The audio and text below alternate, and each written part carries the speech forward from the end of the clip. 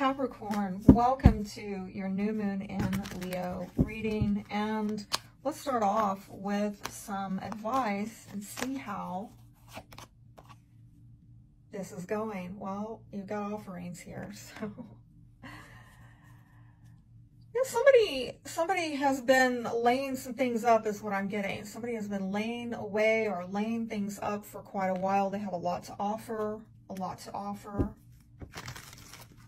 And that's really what I'm getting off of that. I don't know if, it is seen clearly how much is up for offering or how much someone has to offer. Um, I'm hearing it's there for the taking. It's there for the taking. So that's what I'm getting intuitively off of that. Um, we'll talk more about that card as we get to the end. But let's see what kind of new beginning you have with this new moon hitting your eighth house, having to do with other people's resources. Might also have to do with intimacy, power dynamics in relationships. Um, eighth house is a lot of stuff, a lot of private, really super private stuff having to do with sex, money, you know, even the government, debt, taxes, death. Oh, wow, you know, okay, that came out. Um, wow, that's weird. Like, really, you got an opportunity to hold back there. Um, mm, I, I, I gotta, I gotta understand that one a little bit better. How is that an opportunity? You maybe don't see something. Okay, so what I'm getting now is you held yourself back, or you, you have not seen something because you didn't want to see it, or you held yourself back because you didn't want to try to wrangle yourself out of this. I'm getting, I'm hearing it was a dicey, it's a dicey situation.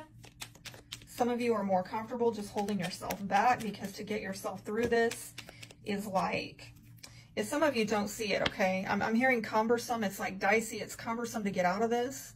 Um, and you don't see your way out of a conflict, okay? There's maybe also some conflict about your wishful thinking versus other people's wishful thinking. And it's like, well, how do we navigate this? But you have an opportunity maybe to take the blindfold off and see something clearly about what options are viable and what options aren't in a group dynamic. I'm also getting that somebody's wishful thinking has been creating unnecessary drama, okay? So there's an opportunity to kind of get clear on that. Or not. You got free will here. Let's see what the challenge is at this time uh, with this. You got a lot. You got a lot. I'm going to take the ones that landed in the upright. Um, and when I see that, I got to tell you, somebody needs a private reading, right? I don't say it to all of you, only the only when I see a lot.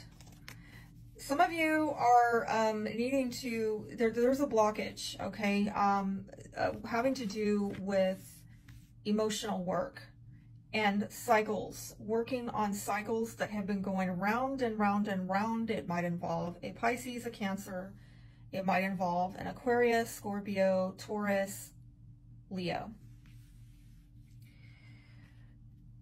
And I'm also just being brought back to the fixed energy of this and it's faded and it's like, it's also major arcana. Like some of you, now I'm getting a lot of spiritual, like this might have been destined that there are some karmic cycles that you have gone through that you were slated to go through so that you can work on something that I don't know you're, that you're clear about. And it might have to do with using your intuition, um, working with spirituality. I'm also getting um, having to do with fears, doubts, insecurities, not seeing things clearly, and needing to work on getting more emotional and spiritual clarity.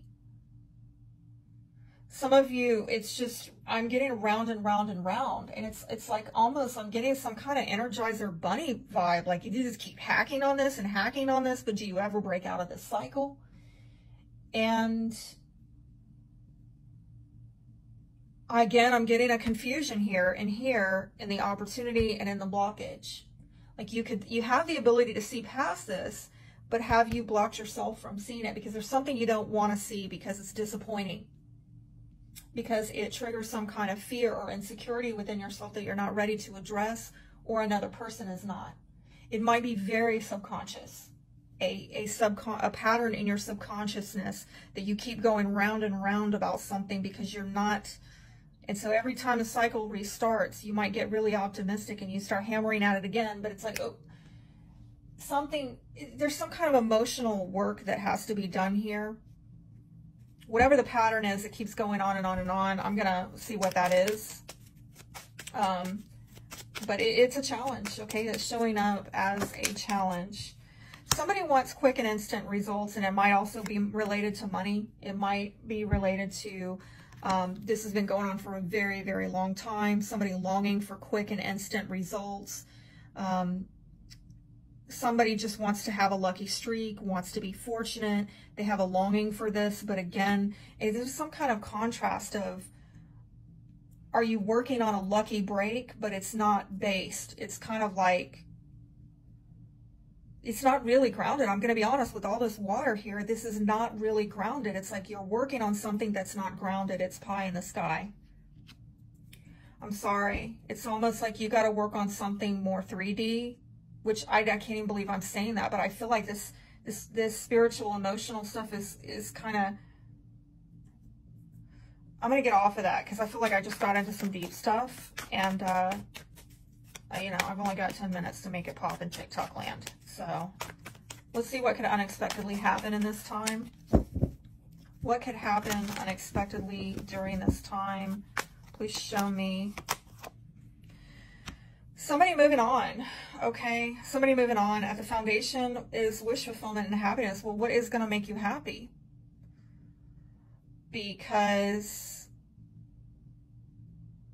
I'm getting the wish, the hoping and wishing over here, but there's the conflict around it. And I think that somebody's just going to go after, you know, tell me what that is about. That's showing up in your fifth house. So this might have to do with children, fun, dating, romance. Somebody just decides to move the heck on. Um, could be an air sign, Aquarius, Libra, Gemini, somebody younger than you, possibly. Um, I, I think this air sign or whoever this is or whatever this is, they're showing up really not interested.